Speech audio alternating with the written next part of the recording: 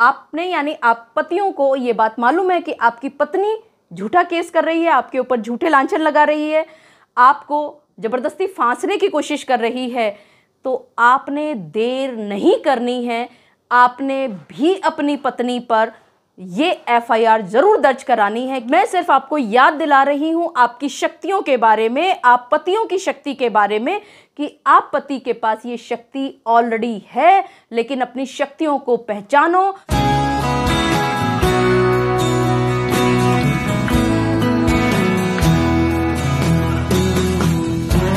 मेरे बहुत सारे सब्सक्राइबर्स मुझसे बार बार ये सवाल किया करते हैं बार बार मुझसे शिकायत किया करते हैं कि उनकी पत्नियों ने उनको कहीं का नहीं छोड़ा, उनकी पत्नियों ने उन पर झूठे केसेस कर करके उनका जीना हराम कर रखा है।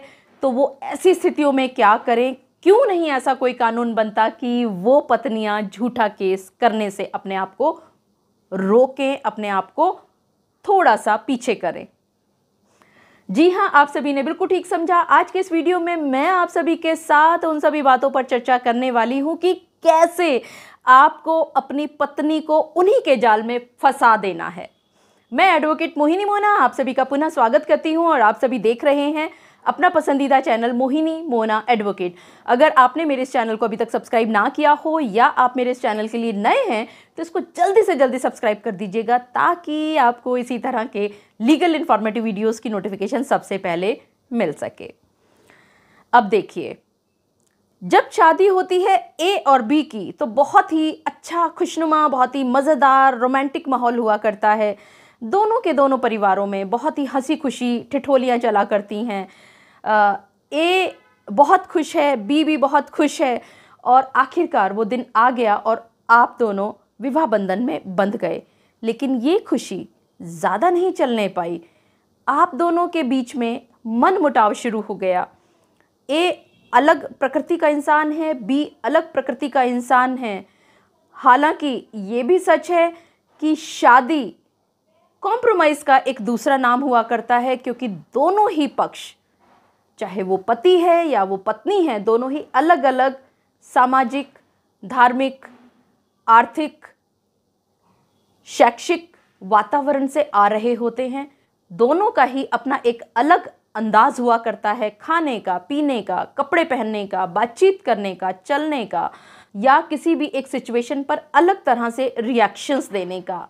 यानी अलग एक्शंस दोनों के, अलग रिएक्शंस दोनों के लेकिन फिर भी दोनों के बीच में विवाह बंधन हुआ है और आप दोनों को ये राय दी जाती है हम वकीलों के द्वारा ही कि आप दोनों को ज़्यादा से ज़्यादा कॉम्प्रोमाइज़ करने की कोशिश करनी होगी। एक दूसरे को समझना होगा, एक दूसरे को समझने और परखने में अक्सर समय लगा करता है, लेकिन आप लोग बहुत जल्दबाजी कर दिया करते हैं। जैसे ही आपके बीच में कॉन्फ्लिक्ट शुरू होते हैं, टकराव शुरू होती है तो उसकी गूंज बहुत दूर तक चली जाया करती है, जबकि आप सभी को ये बात समझाई जाती है मेरे हर एक वीडियो में कि अगर आप दोनों के बीच में कोई भी बातचीत हुई है तो उसको अपने बेडरूम तक ही सीमित रखें, दुनिया को उसमें ना घसीटें।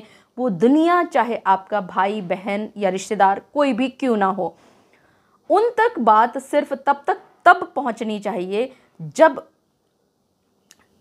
सिर के ऊपर पानी चला गया हो। लेकिन आप लोग जल्दबाजी करते हैं।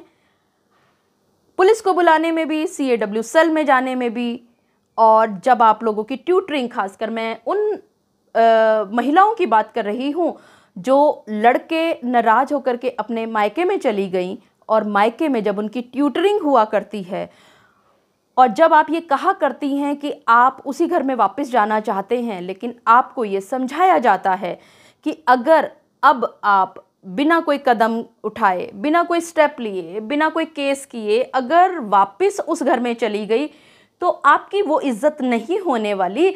उन्होंने अगर आपकी बात नहीं मानी है तो उनको मज़ा तो चखाना ही होगा और इसी मज़ा चकाने के चक्कर में आपको ये समझाया जाता है कि आप सी ए डब्ल्यू सेल में जाएँ, आप डोमेस्टिक वायलेंस का केस करें, अगर आपने दो लाख रुपया खर्चा है शादी में तो आप 20 लाख रुपया दिखाएँ बड़ी बड़ी बातें करें, पति और उसके परिवार को डराने, धमकाने की कोशिश करें ताकि वो घुटनों पर टिके और आपको लेकर के जाए। क्योंकि आपने सुन रखा है कि दहेज मांगना और दहेज लेना अपराध है। आप इसी को मोहरा बनाती हैं और इसी को मोहरा बनाते हुए आप उन सभी रिश्तेदारों का नाम, उन सभी सदस्यों का नाम घसीट लेती हैं। देवर देवरानी, जेठ जेठानी, नंद नंदेव पति, सास ससुर, चचिया सास, चचिया ससुर चाची सास इत्यादि सभी को घसीटने की कोशिश करती हैं। और सभी पर कुछ ना कुछ आप एक इल्ज़ाम ज़रूर लगाया करती हैं कि उन्होंने दहेज मांगा। चलिए, आपकी बात को बड़ी कर दिया जाता है। दहेज मांगना जुर्म है अगर आपने साबित कर दिया, अगर आपका केस सच्चा है तो इनको बचाने से कोई नहीं रोक सकता। लेकिन इस कॉइन का एक दूसरा रुख भी है। आप सभी ने सुना है ना कि हर एक चीज़ के दो पहलू हुआ करते हैं।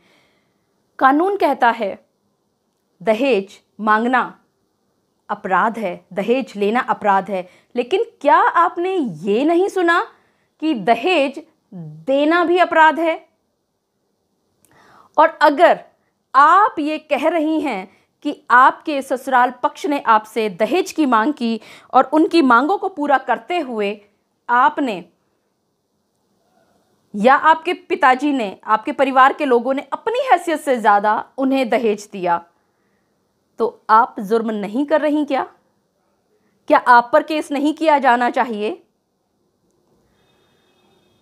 आप जो ये कह रही हैं कि दहेज उन्होंने मांगा या दहेज उन्होंने लिया, इसको साबित करने के लिए आपके पास कुछ भी नहीं है।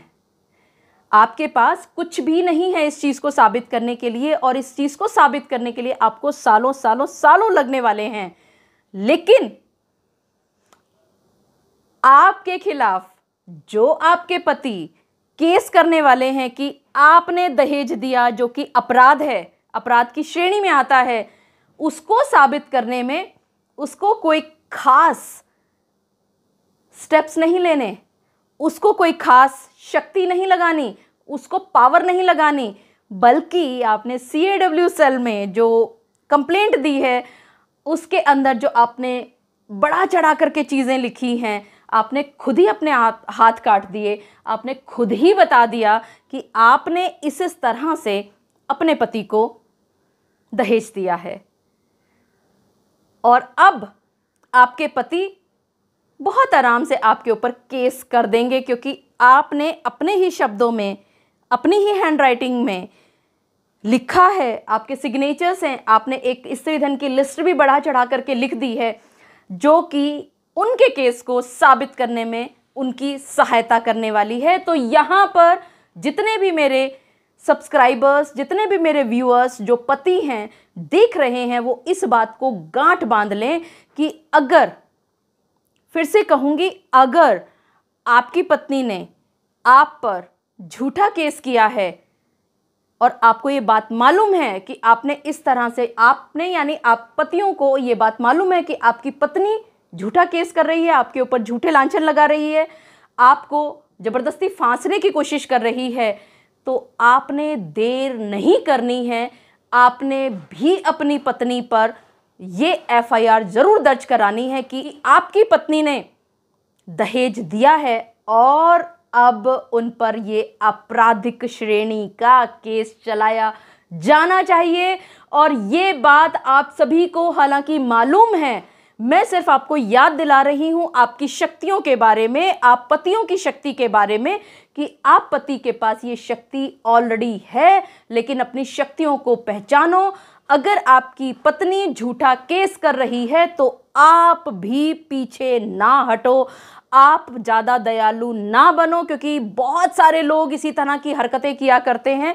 उनको ये पता होता है कि उनकी पत्नियों ने झूठा केस किया, लेकिन फिर भी वो ये कहते हैं कि नहीं वो ये केस नहीं करेंगे, सिर्फ़ और सिर्फ़ डिफेंसिव स्टेप्स में खेलते हुए वो पत्नी को धूल चटाना चाहते हैं। तो यहाँ ये भूल आप पति बिल्कुल भी ना कीजिएगा। मुझे पूरा विश्वास है कि आप सभी पतियों को मेरे आज के इस वीडियो के माध्यम से भली भांति अपनी शक्तियों की पहचान हो गई होगी, अपनी भूली हुई शक्तियाँ आपको याद हो गई होंगी कि जिस तरह से दहेज लेना या दहेज मांगना अपराध है और जिसके लिए आपकी पत्नियाँ आप पर केस किया करती हैं तो उसी तरह से आपको भी ये याद रहना चाहिए कि दहेज देना भी अपराध है और इस अपराध के लिए आपको जल्दी से जल्दी एफआईआर लॉन्च करवा देनी चाहिए ताकि इन पत्नियों को, इन झूठी पत्नियों को भी पता चले कि वो असल में कानून के साथ किस तरह से खेल खेल रही हैं। मुझे पूरा विश्वास है कि आप सभी को मेरा आज का वीडियो भी बहुत अच्छा लगा होगा। अगर आपको मेरा आज का वीडियो भी अच्छा लगा तो इसको लाइक शेयर और कमेंट करना ना भूलिएगा। और हाँ अगर आप मेरे इस चैनल के लिए नए हैं तो इसको जल्दी से जल्दी सब्सक्राइब कर दीजिएगा, ताकि आपको इसी तरह के लीगल इन्फॉर्मेटिव वीडियोस की नोटिफिकेशन सबसे पहले मिल सके। अपना और अपने परिवार का बहुत अच्छी तरह से ध्यान रखिएगा। Thank you take care bye